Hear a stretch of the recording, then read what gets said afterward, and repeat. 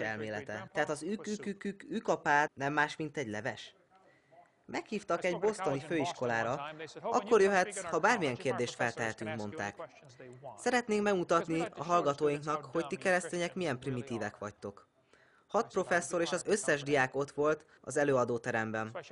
Tudjátok, úgy éreztem magam, mint Dániel az oroszlánok vermében. Azt mondtam, tudjátok, én hiszem, amit a Biblia mond. Elhiszem, hogy 6000 évvel ezelőtt Isten megteremtett mindent, hogy 4400 évvel ezelőtt volt egy özönvíz, hogy Noé fajtánként, nem fajonként két-két állatot vitt bárkára. Aztán elmondtam, hogy mit hisznek ők. 20 milliárd éve ősrobbanás, 4,6 milliárd év a Föld lehűl, több millió éves eső, aztán leves, amiből előállt az élet. Az egyik professzor felháborodott. Nem tudja, hogy több száz kutyafajta létezik? Sok fajta van, feleltem. Maga szerint ez a sok kutyaféle abból a Noé-féle két kutyából származik? Uram, feleltem. Ön mit tanít a hallgatóinak? Azt, hogy az összes kutya és maguk is egy kőből jöttek létre. Ezek után nem tett fel több kérdést. Nos, de hát kit is vettek feleségül Ádám fiai? Ádám miután sétet nemzette, még 800 évet élt, és nemzett még fiakat és leányokat. Hány gyereked lenne 800 év alatt? Sok, nem igaz? Egyik barátomnak Erkenzeszben 15 év alatt 15 gyereke született. Egy Minnesota beli családban 20 gyerek van, és mind 20 év alatti. Hideg van Minnesotában. Tehát kit vettek el Ádám fiai? A lánytestvéreiket. Meglepő lehet, de nem volt más választás. Másodszor, hol lehetett volna feljelentést tenni? Harmadszor, nem tiltotta a törvény, egészen 2500 évvel későbbig, a mózesi törvényekig. Nem is kellett tiltani, mert az első ezer évben genetikailag nem voltak hibák. Nem okozott gondot a testvérházasság. Tudjátok, mindent öröklünk, még a gyermeknemzés is öröklődő. Ha a szüleiteknek nincsenek gyerekei, neked sem lesznek. Csak gondolkodj, meglátod, igazam van. Azt mondják, nem lehet testvérek közt házasság. Mi lesz a genetikai hasonlósággal? Ádám a saját oldalbordáját vette nőül, ha már a genetikai hasonlóságról beszélünk. Akkor ez nem volt probléma. Ha a Biblia alapján grafikonon ábrázoljuk az éveket, megdöbbentő dolgokat láthatunk. Például Ádám megláthatta 9. iziglen leszármazottjait. Noé apukája ismerhette Ádámot 56 éven keresztül. El tudjátok képzelni, hogy egy családi összejövetel hogyan nézhetett ki akkoriban? Mindenki ugorjon tevére, meglátogatjuk a nyolcadi ziglani nagyapátokat, Ádámot. Ő majd elmeséli, milyen is volt az édenkertjében lenni, mielőtt az asszony kiette volna a férfit az örökségéből. Sok Ádámévás viccet mesélek, egyszer egy asszony ezt mondta nekem. Hol is lennének maguk férfiak nélkülünk, nők nélkül? Az éden kertjében válaszoltam. De magányosnak se jó lenni. Sokszor elképesztő dolgokat lehet leolvasni a grafikonokról. Noé Sét nevű fia hosszabb ideig élt, mint Ábrahám, Izsák és Jákob. Jákobnak 13 gyereke volt, 12 fiú és egy lány. Az egyik fiú József volt, aki a színes kabátot viselte, amiért a testvérei megverték, verembe dobták, Egyiptomba hurcolták, és végül a fájraó helyettese lett. És ő elhívta a bátyjait, hogy éljenek vele. Szóval Jákob a fáraónak mutatja be a testvéreit, és a fáraó megkérdi Jákobtól. Hány éves vagy? 130 válaszolta Jákob. Életem rövid volt, tele volt rossz napokkal. Nem értem el atyáim vándorlásának évei számát. 36 éve olvastam ezt a verset, amikor frissen megtértem, és megkérdeztem magamtól. Micsoda? 130 éves vagyok, de semmi elődeimhez képest. Igen. Ha beleszámítjuk, hogy ő személyesen ismerhette Sémet, Arpaksádot, Sélákot és Hébert, és a 130 év nem sok, ha ismerünk 600 éves embert is. A tankönyvek szerint a Föld több milliárd éves, Jézus pedig azt mondta, hogy Ádám teremtése volt a kezdet. Akkor hazudott? Nem volt normális? Vagy igaza volt? Mennyi idős a Föld? Ebben a városban is azt tanítják a tankönyvek, hogy a Föld több milliárd éves? És azt tanulják az iskolákban? Hát persze.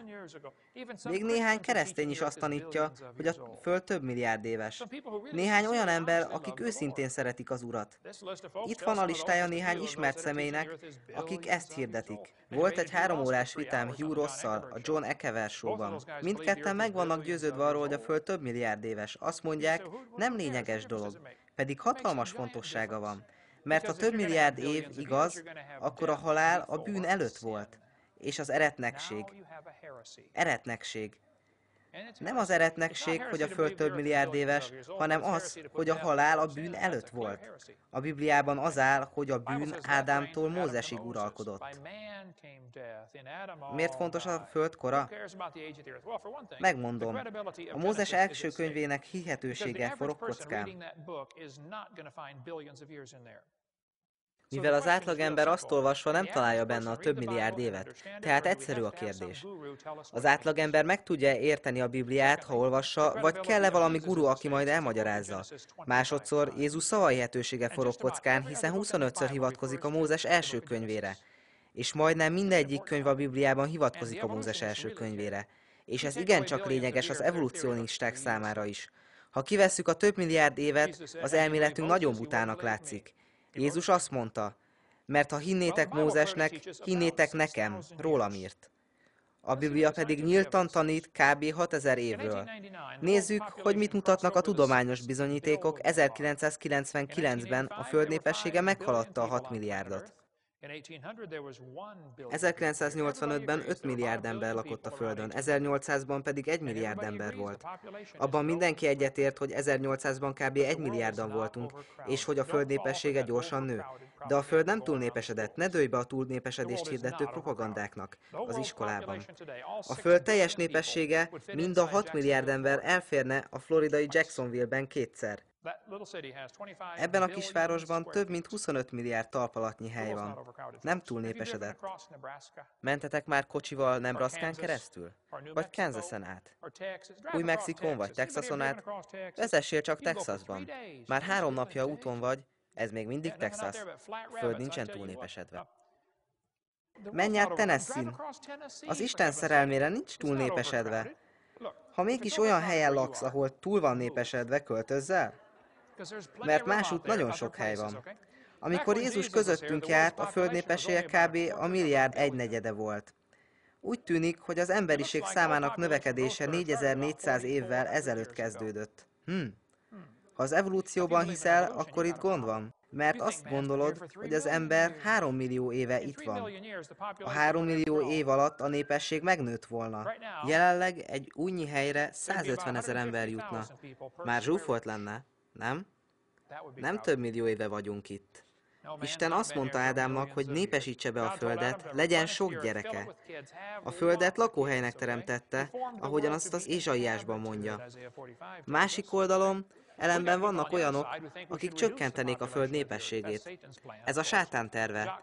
Jacques Cousteau szerint naponta meg kéne szabadulni 350 ezer embertől. Ted Turner szerint a jelenlegi világ népességét 95%-kal kéne csökkenteni. Oké, okay, Ted, tiéd az elsőbség. Ezek az illetők az új világrend hirdetői, a világ népességét félmilliárdra szeretnék csökkenteni.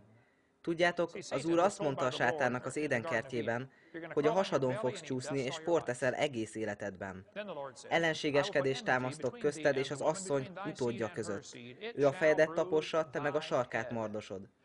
A sátán tudja, hogy egy napon egy asszony magva eltapossa a fejét, és nem túlzottan várja ezt az időt. Tehát elhatározta, hogy megöl minden embert a Földön. Célja az emberiség kiirtása, hogy Isten tervét megakadályozza. Isten azt mondta, töltsétek meg a Földet. Amikor Herodes meg akarta ölni a gyermek Jézus Betlehemben, mit tett? Azért, hogy véletlenül sem maradjon ki az az egy, meg akarta ölni mindegyiket. Sátán pedig megpróbál mindenkit megölni a földön.